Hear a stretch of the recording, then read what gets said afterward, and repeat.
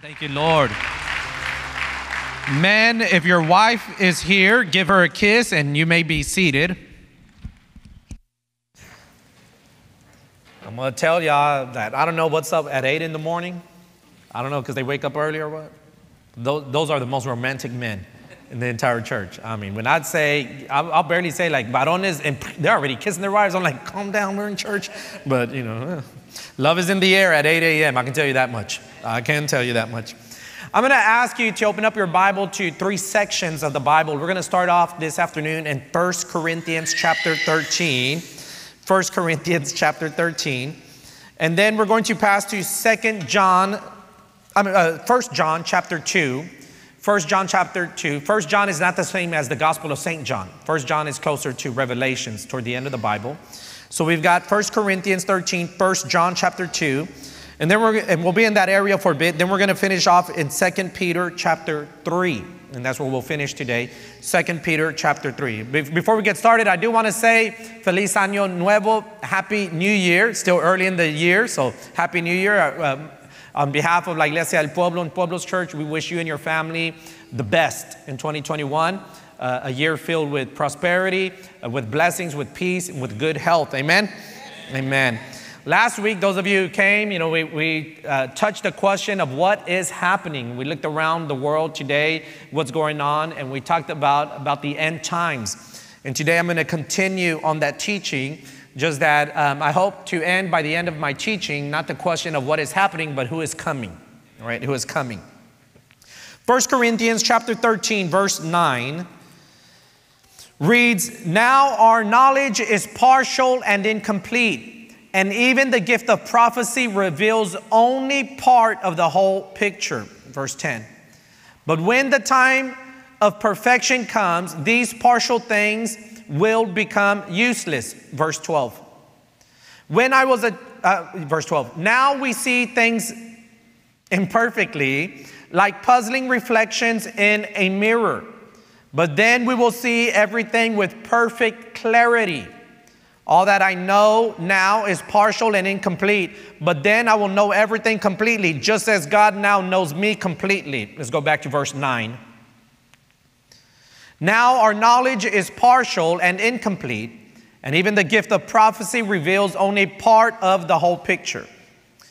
Prophecy, I believe um, that today there are people that move in the prophetic. Um, uh, I believe that the Holy Spirit still gives people prophetic word but one of the things we must understand, whether we're talking about someone with a prophetic word, or as we've been looking at, looking at scripture, and as we'll see today, looking at prophecies of the end times, is what this last part in verse 9 says. Even the gift of prophecy reveals only a part of the whole picture. When we talk about prophecy, we're seeing a part of the whole picture, kind of like a jigsaw puzzle I don't know about you guys, but when I work a jigsaw puzzle, I like to work all the edges, right? And all the edges kind of give me an idea of what the picture is going to look like, but it's not the complete picture. It's like looking at a painting, and prophecy is like looking at a corner of that painting, or maybe just looking at a side or a certain section. And um, so uh, last week I talked about uh, the tribulation, the rapture, uh, a little bit about the millennium. And, and I explained last year, uh, last, last year, last week, I'm way off, right? Uh, uh, last week, that there's three main um, beliefs when it comes to interpreting uh, the rapture. I tell you that every year um, at your school, Pueblos Rural Christian School, shameless plug, we're currently um, registering pre K to eighth grade. Um, but, anyways, um, at uh, your school, Pueblos Road Christian School, every year, pretty much, uh, students, they reach a certain point where they're in their schoolwork, come and interview me, and we talk about the tribulation. And I like to get this study Bible that I bought uh, probably over 20 years ago, Spirit Filled Bible. I don't know if it's still in print, but I like to bring that Bible. And I like to show them, like toward the end of this study Bible, there's a section dedicated, and it's probably like 25 or more pages. Um, in one service, I said 50. That might be an exaggeration, but it's at least 25 or more, you know, pastor speaking hyperbole. And um, talking about the tribulation. And, and I mentioned last week that some people believe, like myself included, I said we believe, I should say I believe, that Jesus will return uh, and, and rapture the church, take the church up before the seven years of tribulation. Some people believe that there will be three and a half years of tribulation. Jesus will return for the church, and then the world will experience three and a half more years of tribulation, worse than the first half. Three and a half plus three and a half is seven, if you're doing the math. And then there's some that believe that there will be seven years of tribulation, and um, Jesus somehow will keep and protect the church the way God protected Noah and his family during the flood. And so the church will get to see seven years of tribulation, but not experience tribulation. I'll tell you that um, about Tuesday, um, I think it was about Monday or Tuesday of uh, last week after teaching um, about the tribulation, a little bit about tribulation, my father calls me and he says, Son, he's like, I just want you to know that I believe in um, three and a half years of tribulation, then Jesus will return, and then we'll go, you know, there'll be three and a half years of worse tribulation. And I had said that I believed that Jesus would return um, before the tribulation. And I told him, Well, all I can say is we shall see, right? Because there are two rules that you and I need to understand when it comes to prophecy, and especially when it comes to end time prophecies. We see part of the picture. No one knows exactly how it will happen. No one knows exactly how it will occur. And it cracks me up when I hear pastors and ministers and people debate these things like they know for sure. No, no one knows for sure. And I'll give you a great example, and I, I might have mentioned this last week. There's a prophecy in the book of Revelation about these two witnesses that they will kill, and the world will see this and rejoice, and they won't bury them. They'll leave their bodies out in the open. The world will see them and rejoice, and then they will resurrect. You know, uh, 2,000 years ago, when John writes that, people were like, that's crazy. How's the world, entire world, going to see these two bodies? Right? A thousand years ago, they said that. A hundred years ago, they're like, that's crazy talk, right? As a matter of fact, 50 years ago, people would have been like, that's crazy talk. How's the entire world going to see these two dead bodies and then see them resurrect? But today, any one of us can go live on any format of social media, and the entire world can see what is happening wherever we're at. And so now we see the technology and we say, hey, it's total possible. Total, it's a total possibility. Now, I do want to share this. I don't think that God was waiting on any technology. If uh, this would have happened 2,000 years ago, I think God is powerful enough, capable enough that He could have put the image in every human's mind and we would have been able to see it. So God's not waiting on any technology, but I just want to say the way we interpret it today is way different than how we interpret it even 50 years ago. Look, look, at the mark of the beast. You know, we, I, when I was a kid, they used to teach us it was like this tattoo, right? Now we know more about computer chips and, and stuff like that. So we know only in part, right? So, one, no one knows exactly how things will happen. And two, no one knows the hour. No one knows the hour. In 1988, this man wrote a book, and it was 88 reasons of why Jesus would return. And I believe he picked the month of September, September 8th of 1988, and it didn't happen. In the 90s, I believe it was, there was a famous series of books that later movies, the Left Behind series, and people thought like, oh man, it's to happen now in the 90s. And it didn't happen. And uh, just recently, maybe about four years ago, uh, there was a, uh, a minister, I believe a very sincere man, a lot of knowledge of scripture, a lot of knowledge of the end times. And he came out in national news that he had predicted, like, hey, this is the day Jesus was going to return this day. And it didn't happen. And shortly after, he, he passed away. And um, I believe that he saw something. He saw it in prophecy, he saw it in part. And Jesus himself says that it's an unexpected hour. That means that people won't even expect it. When it happens, we'll be like, man, I never thought it was going to be at that moment. So no one knows exactly how, no one knows exactly when. Let's go to 1 John chapter 2. 1 John chapter 2 verse 18. Dear children, the last hour is here. You have heard that the antichrist is coming and already many such antichrists have appeared.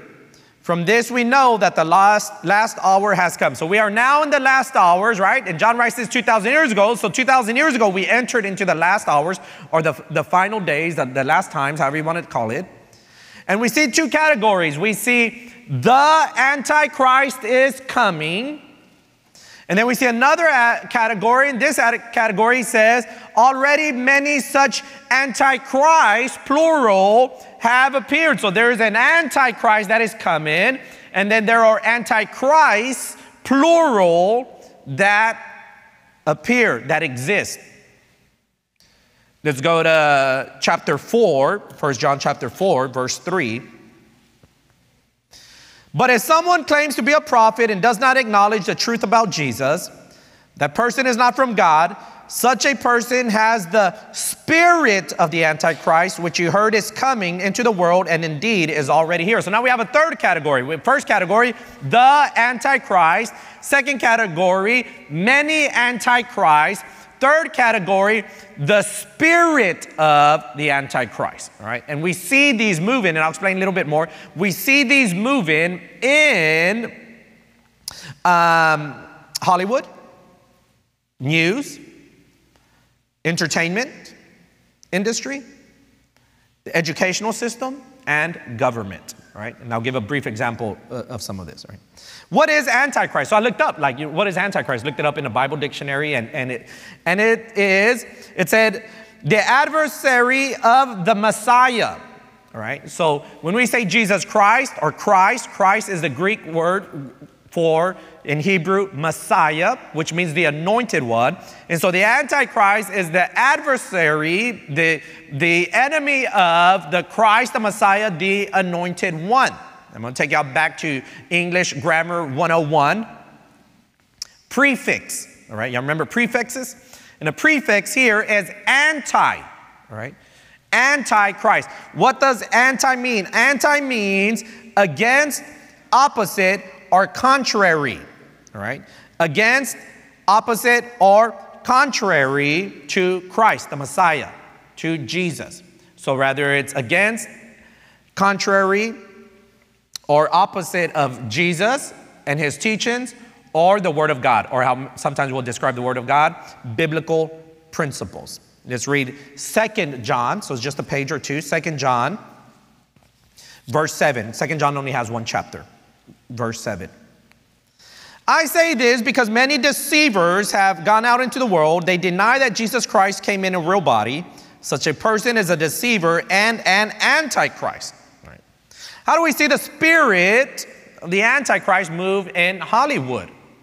Well, if you look at a movie or show today, very rarely will you see a happily married married couple, one man and one woman. You will see more than likely a homosexual couple. Um, you'll see a couple that has relations, sexual relations, but are not married. If there is a married couple, one is cheating on the other. And if it is a normal married couple, no one's cheating on one another. For some reason, they always paint the man, the head of the house, like a clown. Like he's this goofball. He doesn't know anything. His kids are smarter. The wife is smarter. Everybody's smarter than this clown. And everybody's got to do stuff for this guy that's just kind of out there. Right? So we see that Hollywood paints a picture that is very much against biblical teaching of what marriage is between one man and one woman. Right? Uh, we, we see these things in, um, in, in, the entertainment industry, um, which, is, which is connected to Hollywood. We see this going on in schools, universities. Many people here who went to the university, and um, there are certain topics you could not write about in English class, right? You better not write against abortion or write that you believe in, in traditional marriage, right? As Genesis teaches, um, a man will leave his mother and father and be joined to his wife, right? You, you can't write about those things, can't talk about those things.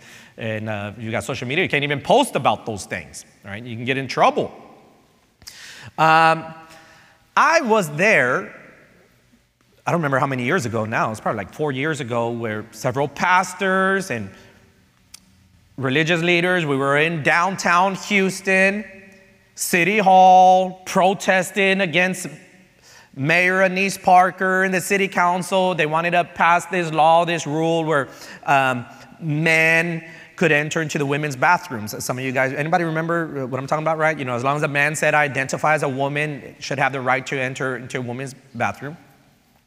I was there for that. And, and, and we see this movement in government, right? Uh, and I, I'm, not, I'm not here to talk about for or against any president, but in the first few days of the new administration, sign of a pen.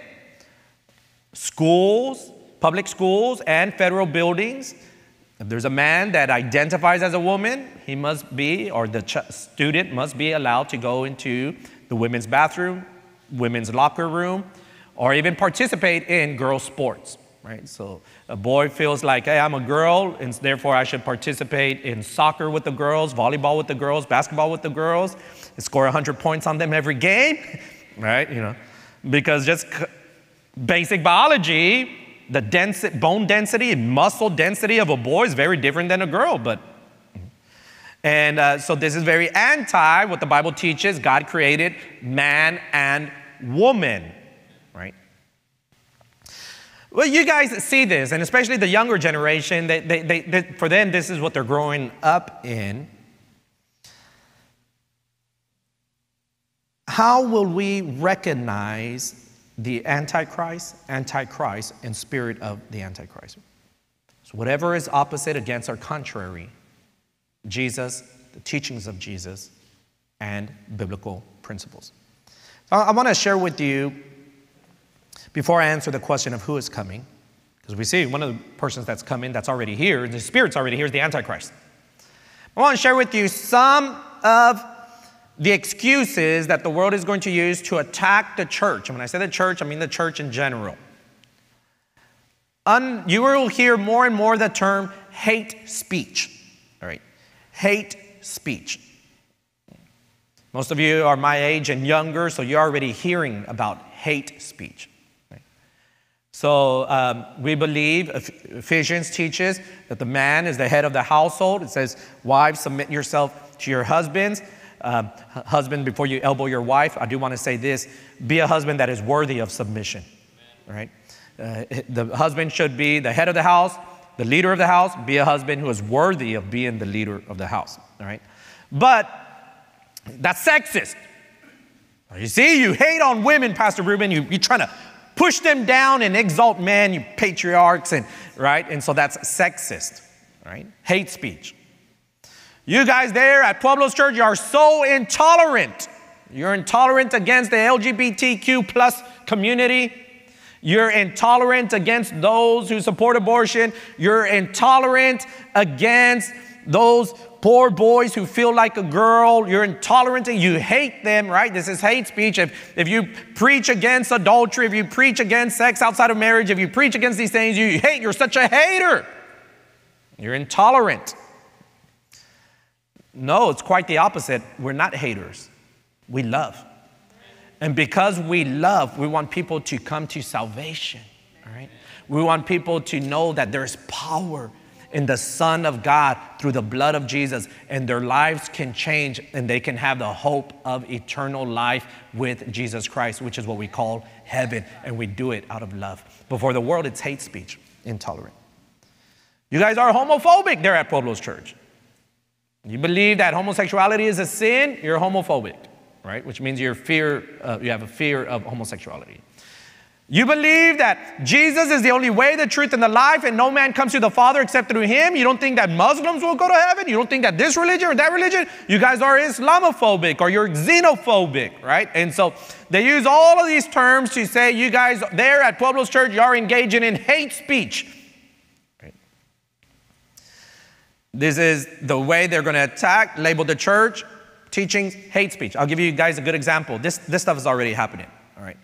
In, um, there's a, there was a famous radio program, there was a famous psychologist, Christian psychologist named Dr. James Dobson. Anybody here ever hear of Dr. James Dobson? All right, he had a famous program called Focus on the Family. And they emphasized in their teachings the family. And they had many testimonies of men and women who at one point practiced homosexuality, came to the knowledge of Jesus, repented, changed their lives. And this was an international radio program. But when they would play those programs that dealt with homosexuality here in the United States, in Canada, they would have to put a totally different program because in Canada it was considered hate speech. And so it couldn't come out on the radio, right? Because the, the government owns the airwaves. Right, hate speech. So, so this, this is already happening. How will they attack the church, right? Well, this is the famous cancel culture, right? Cancel culture, cancel, cancel them, right? You know, cancel culture. What is cancel culture? It's a form of ostracism, right? Where we ostracize people, put them aside, um, get, whether it's online, social media, or in the world world, or both, and we kick them out of certain social circles or even business circles, right? One such way of doing this is what they call doxing, right? And so doxing is, well, that Pastor Ruben, he's out there preaching against this and preaching against that. So they'll release online my, my address, my personal address, my personal cell phone number, and where I bank and where I work, where my kids go to school. And before I know it, I have people calling me and harassing me, and I have people in front of my house harassing me, and I have people at my workplace harassing me, right? And, and what have you. And this is happening. We see this happening to certain politicians on both sides. Um, this, this is happening to politicians where their personal information is being leaked out and they're getting harassed in their homes and their children are getting harassed. They're getting harassed in restaurants. The other way is boycott, right? Let's boycott them, you know. So, so you work at a business, we're gonna boycott your business, right? We're, we're gonna dox you, we're gonna boycott you, we're gonna cancel you. I'm not saying this is how it's going to be, but I'm going to give you guys a very real world example of how this could play out, how it could play out. Right? Let's say Pueblo's Church banks with Wells Fargo. We don't, but let's just say that we did. All right? And um, I give a message on the sanctity of marriage. It's between a man and a woman, right? Or I give a message on life, right? Why we should be against abortion. Uh, some activists are mad and upset with Pastor Ruben taught, right? They find out we bank at Wells Fargo. They go to Wells Fargo. Wells Fargo, you guys are doing business with this church that preaches hate, hate speech. And that pastor there's a hater. Wells Fargo says, man, look, man, we're, we're not going to get involved in this political discourse. When I was there at city council, and pastors were there protesting about um, men going into the women's bathrooms. And, and, and shortly after, we were on the radio in an interview, and, and I said, Look, we can protest all we want, but really, we need to watch who we're voting for, right? So it's funny, all these pastors that protested over there and then vote for someone to just sign a, a paper and open up the doors again, right? And different people went and spoke before city council. Some for men in women's restrooms and some against men in women's restrooms. Right? Those who spoke for men in women's restrooms, they're heavy hitters. Saw certain politicians there. I'm not going to mention his name, but a very popular politician amongst Hispanic evangelicals speaking for men in the women's restrooms. I guess they've all forgotten. And representatives of big corporations. There was a representative of AT&T that spoke and said, "Hey, we believe this is the right thing to do is let these men in women's restrooms, right?" So, imagine Wells Fargo says, "We're not going to get involved."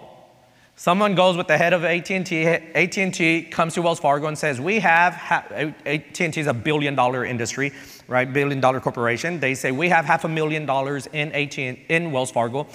If you continue doing business with those haters who preach hate speech, we're going to pull our money out. Wells Fargo is going to say bye bye, not to AT&T, to us. Right? You don't think this is possible? Let me tell you. This, this just currently happened to President Trump. This is a billionaire. They do that to a billionaire. Certain banks have closed doors on him what do you think they can do to you? Right?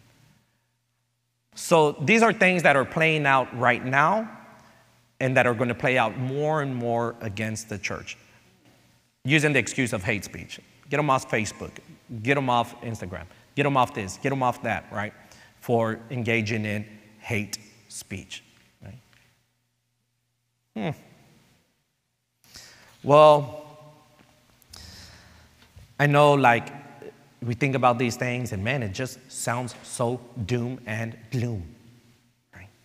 Oh, Pastor, I came in so happy, and that last song was so amazing, and now you've brought us all down.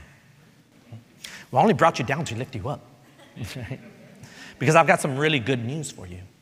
The good news is that though we see the Antichrist is coming, that there are antichrists and the spirit of antichrist is here the good news is the king is returning the king of kings the lord of lords is returning and all these things that we see around us shouldn't bring us down. The book of Revelations was not written to scare you or to put fear in your heart. The book of Revelation, end times prophecies, were written to encourage us because the king is coming. The king shall return. And this is a church that is encouraged, and we hold on to the hope that the king is returning. Let's go to 2 Peter chapter 3. 2 Peter chapter 3, verse 3. Most importantly, I want to remind you that in the last days, we're in the last days, scoffers will come. In Spanish, it used the word burladores. Burla is people who will make fun of you. Right? Scoffers will come mocking the truth and following their own desires. Verse 4, how will they mock us? They will say, What happened to the promise that Jesus is coming again? From before the times of our ancestors, everything has remained the same since the world was first created. So they're saying, like, hey, I thought you guys believed that Jesus is coming. I thought you said the king is coming. What happened? And they're, they're going to mock us and make fun of us. It's already happening. I uh, like to listen to different preachers. There's a few preachers I like to listen to, and sometimes I'll, I'll just like binge listen to two or three teachings a day uh, for a week, just get ministered by, by men with great knowledge and wisdom of the Word of God. But I'll tell you guys something. I'm not just talking about Pueblo's church, I'm talking about church in general. Very rarely will you hear today in 2021 a teaching on the coming of the Lord. It's easier to preach about prosperity. It's easier to preach about healing. It's easier to preach about leadership principles. It's easier to preach about having a great life or your best life ever. It's easier to preach and teach about those things than it is about the return of the king. Why? Because we fall into the bullying of these mockers who ask, What happened to the promise that Jesus is coming again? Ha! I thought he was coming. September 8, 1988. Ha! Thought he was coming with all those Left Behind series. Ah, thought he was coming a couple of years ago when that crazy wacko, one of your own, prophesied that he would be coming on that certain date and didn't happen, right? So it's just kind of, you know, we don't need to talk about it too much. What happened to the promise that Jesus is coming again? Okay. Verse 8. But you must not forget this one thing, dear friends. A day is like a thousand years to the Lord, and a thousand years is like a day. Let me tell you, God existed before He created the heavens. God existed before He created the sun. God existed before He created the moon. That means that God existed before 24 hours a day existed. God existed before seven days a week existed. God existed before 12 months and a year existed. All right. Therefore, God doesn't move by the time that we are so concentrated on. When we say the king is returning, he is king over everything. He is king over the universe. He is king over this world. He is king over our lives and he is king over time. So for him, a day, it's like a thousand years, and a thousand years, like mm, a day. And it's been 2,000 years since this was written. So for God, it's really been like two days. Now, I can't tell you if Jesus the King is returning today, in five years, a hundred years, or in a thousand years from now. One thing I do know is that every day that passes, we are one day closer to his return. Every day that passes, we are one day closer to his return. And if 2,000 years ago they were talking about the end days, the last hours, well, man, that alarm is about to set off. All right? That trumpet is about to blow. Those heavens are about to open. And the good news is the king is coming. The king is coming.